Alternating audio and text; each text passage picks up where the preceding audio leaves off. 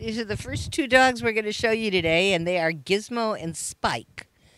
Gizmo is a Yorkie. He's five years old. He's a neutered male. Little bit shy. Doesn't play with toys. Doesn't know any commands. I mean, all he wants is petting and love. Gentle taking treats and very sweet once he gets to know you. Loves to be petted just about everywhere and wants to jump in your lap. But there's one very special thing about him. He's the caregiver to his special friend Spike. Spike is a Morkie. That is a Maltese Yorkie cross, if I remember correctly. He's four years old. He is a very sweet boy, but he's totally deaf. Gizmo takes care of him. Gizmo leads him around. Gizmo hears commands and makes sure that Spike's okay. Um, Spike doesn't like to be picked up. He gets frightened, and that's because he can't hear you coming. Um, he wants toys and he's possessive of his toys, so he doesn't like you to try to take them away. Now, Gizmo and Spike, I'm told, have a very special toy that they share. That toy's name is Homer. And Homer has got to go home with the two of them. So these two, because they are so interdependent and so loving of one another, must go home together. They are both little, they are both easy care, they are both no shed, they are both loving, and they are both sweet and they're at a great age. They are young enough to be playful, old enough not to be destructive. Can't say enough great things about these guys, but to get one, you need to want two. Gizmo and Spike love each other. Spike desperately needs to be with his caregiver, Gizmo, and so they have to go home together. The dog you're looking at now is Rumor. Rumor is a spayed female. She's six years old. She is a Collie Aussie mix. She's very sweet. She's very loving. She has just gotten over being treated for heartworm. And she's now heartworm negative, which means that she can run and play for the first time since treatment began. She loves to be touched and petted just about anywhere on her body. She loves to be brushed. She learns tricks easily. All she needs is a little help from a treat. She's not real energetic yet because she's just gotten over the heartworm treatment and she's got to start getting back into the swim of playing and loving. But man, she once she gets going, she can go and go and go. She loves to be petted. She loves to lay with you on the couch. So if you want to sit down for a movie and your feet are getting a little cold, though that probably won't happen in the summertime, she is your blanket, your cuddler, your snuggler, and your love sweet as she could be, gentle, loving dog. Her name is Rumor, and she's ready to go home and be all healthy and loving and well. The dog you're looking at now is Dragonfly. Dragonfly is a one year old spayed female Amstaff. That's right, the notorious Pit Bull Terrier. Uh, and she is as sweet a dog as you'd ever want to be around. She knows sit, she knows come, she knows down. She's great with kids. She's great with cats. She's great with other dogs. She does play rough with toys, and she may destroy some toys for you. And she tends to snatch her treats, and that's something she has to learn to get over.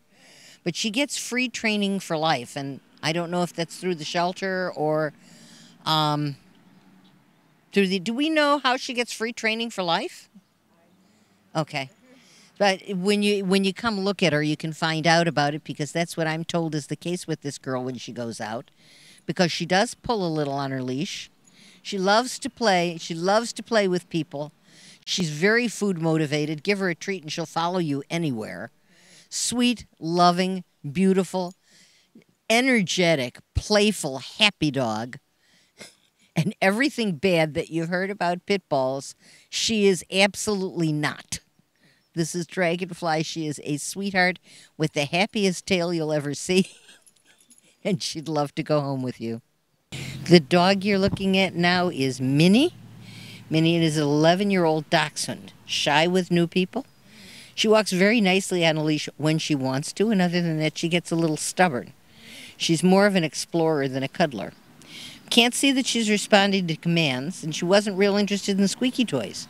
But she likes kids and she takes treats nicely and she's absolutely lovely. And I think that when she gets to know you and gets a little bit secure, you might find that there's a lot more play in this girl than we were thinking of. Hey, Minnie, because she's lovely. Yes, look at that pretty face. This is a sweet, loving dog. And if you like Doxies, this little girl is absolutely wonderful. Her name is Minnie. This is Donnie. And Donnie is going to be a big boy because he's only five months old and he's already a nice medium sized dog and still growing. Playful, energetic, strong, puppy wild. Tends to get mouthy when he's playing. He needs lots of training. He doesn't know any commands besides sit, and he doesn't always sit. He takes treats gently. He's good with kids and other dogs. But it says here, no cats, please. So I kind of think that cats wouldn't be the best idea. This is going to be a big, active, energetic, strong, playful guy with lots of oomph and lots of go. But he's beautiful and he's sweet, and there isn't an ounce of malice in him. He's absolutely adorable, and his name is Donnie. Now, if you're looking for a sweet little cuddler, you look no further than Carnation. She's seven years old. She's a spayed female min pin. Little bit chunky, but that's okay. She doesn't mind. Um, she is affectionate. All she wants is attention from people. You got to be careful because she'll try to follow you out the door, and so you got to watch and make sure she doesn't take off with you. She's great with kids. She's good with some other dogs as long as she doesn't find them threatening. But she is outgoing and perky and happy and smiling and absolutely adorable. This is a sweet, playful, happy, loving little dog. And man, if you wanted if you wanted a great companion, just somebody to bounce around with and then sit on your lap when you watch TV, you could not do better than Carnation. And this pretty girl is Leola. She's a nine year old lab mix. She's kind of an independent soul. She does her own thing, and then every once in a while she kind of comes up to you and says, Okay, I'm allowing you the honor of petting me. She knows sit, come, stay, and down. She does pull on a leash. She's never been taught to walk nice, and she needs some education. And believe it or not, although she's nine and they say you can't teach an old dog new tricks, that's hooey old dogs have more brains than young dogs and they learn a whole lot faster. Uh, she doesn't like her tail touched, but her favorite thing to do is roll around in the grass. She is a sweet little girl. She'd like to come over and climb in our laps, and her name is Leola. The dog you're looking at now is Boudreaux. Boudreaux is a neutered male. He's uh, 13 years old. He is a Lab Great Dane cross. Uh, his favorite thing is to play outside. He doesn't like toys, but he knows sit and give paw and stay and come and down, walks nicely on a leash, is gentle and loving and great with kids and good with other dogs as well. This is one big boy. This is a big, happy, sweet boy. And very frankly, he doesn't show his age, except in a little bit of gray on his face. He's aging gracefully and beautifully. And yeah, he doesn't have it a lot of, a whole lot of years ahead of him but he is the sweetest guy and he really really really needs people to share the, the love in him with for the years he has left. And if you think you'd like to be the beneficiary of that love which is wonderful then come on out and take a look at boudreaux. This is the last dog we're going to show you today and he is indeed our special needs dog. His name is cornbread. He's a four year old chihuahua and he has epilepsy He's a foster to adopt. It's a special program whereby instead of outright adopting the dog, you take it as a foster, and Save a Pet underwrites the medical care for the dog. Uh, very sweet. He likes to sit on your shoulder perched like a parrot. Likes being with people. He does great with kids. He's very sweet. He's good with other dogs. He's a little scared. He's afraid of the camera. There's no question. He has seen that camera and he's not quite sure how close he wants to come to it. This is a beautiful little boy. He's tiny, he's sweet, he's loving, he loves to play, and he loves people to pieces. He's going to need to be medicated for the epilepsy to prevent seizures. And uh, I'm assuming that they have him under control now with medication. If they don't, this is something medication does a real good job of controlling. So as long as he's on meds and you're willing to take the responsibility for seeing that he gets his medication, he will do just fine. His name is Cornbread. He is absolutely darling. And if you're looking for a little guy and you're willing to be responsible enough to make sure that he gets his meds and he gets cared for, you will have a terrific companion for lots and lots of wonderful years. This is Cornbread.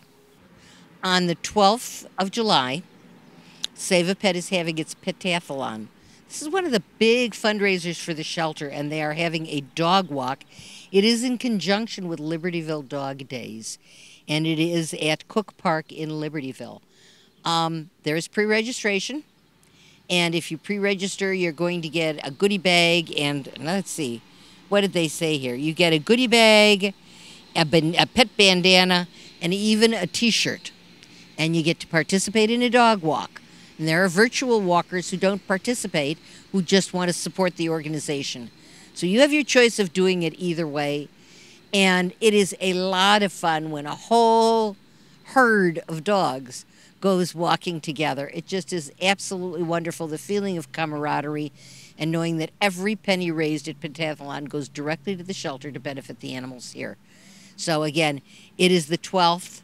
If you want information on Petathlon, do call the shelter at 740 7788. That's an 847 area code, and get as much information as you can. It is the 12th of July. It is a whole lot of fun, and Libertyville will have all kinds of dog related events going on on that day. So it's a great time to come with the family and the dog or dogs and spend the day just having fun.